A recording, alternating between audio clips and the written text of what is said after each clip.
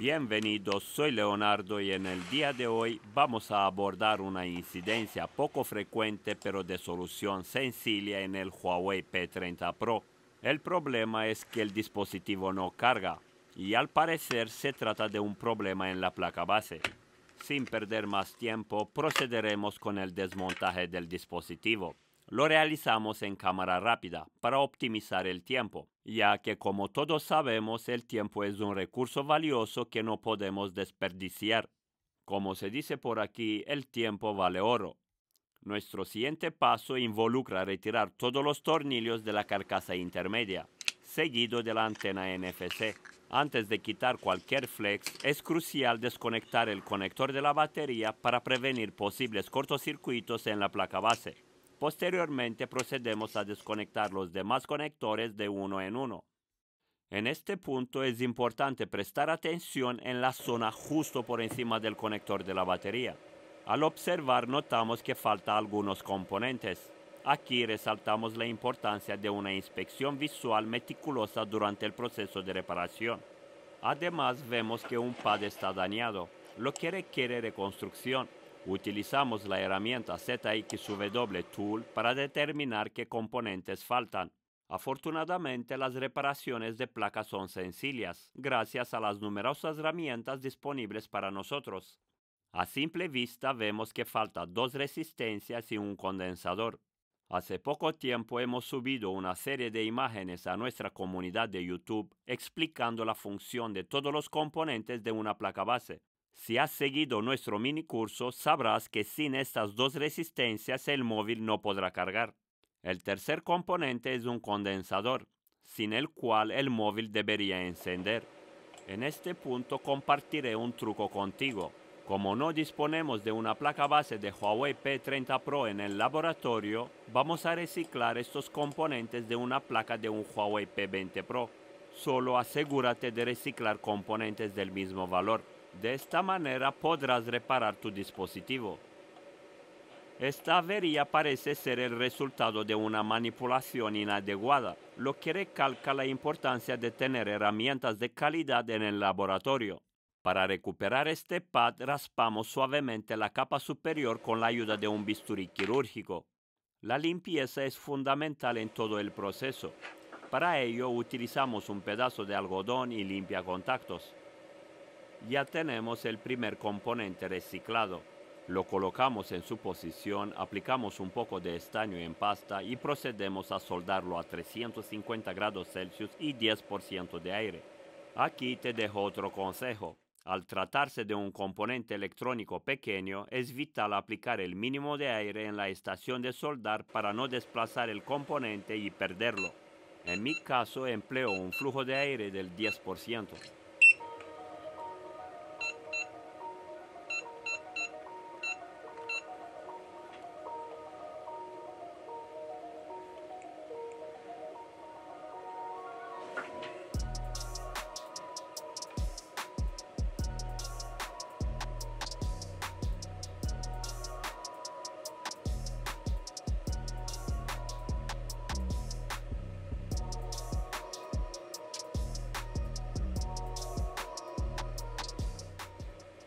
Seguidamente comprobamos con una pinza antiestática si el componente se ha soldado correctamente.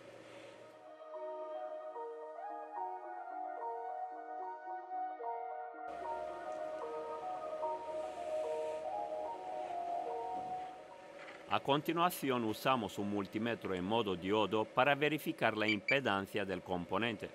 Situamos la punta roja a tierra y con la punta negra medimos los extremos del componente. El resultado nos indica que el componente se ha soldado de manera adecuada y presenta los valores correctos.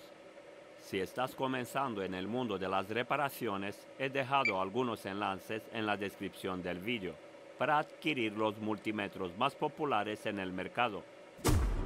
Algunos de estos modelos tienen más de 5 unidades vendidas y con precios entre 5 y 10 euros. Se convierten en una adquisición prácticamente sin fallo. Para recuperar el pad perdido aplicamos un poco de estaño en pasta y calentamos la zona con la ayuda de una estación de aire caliente.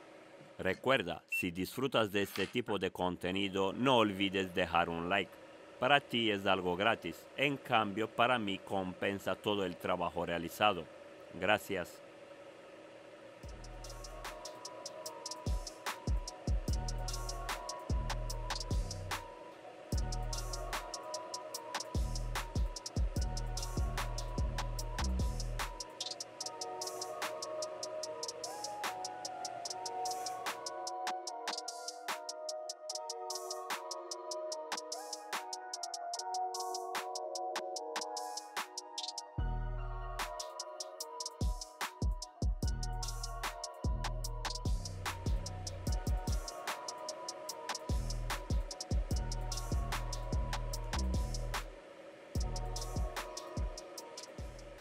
Ahora es el momento de colocar la segunda resistencia y soldarla, utilizando las mismas condiciones de temperatura y flujo de aire que en el paso anterior.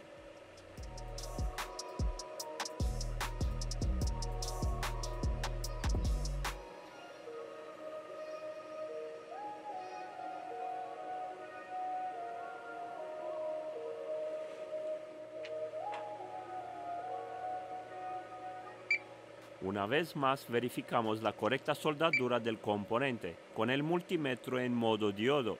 Los resultados indican que todo ha ido según lo esperado.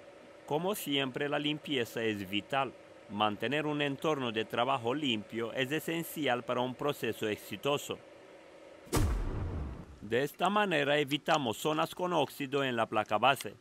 Ahora vamos a montar la placa base en el dispositivo y realizar las comprobaciones necesarias para asegurarnos que todo está en su sitio y funcionando como debería.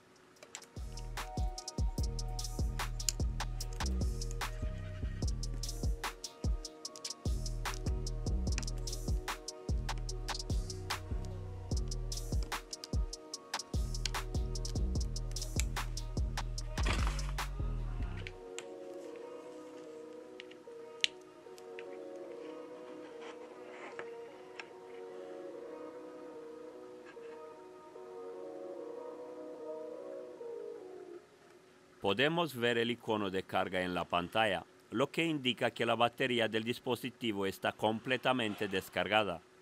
Después de esperar unos minutos, observamos una carga correcta en la herramienta PowerZ, lo que es una señal prometedora.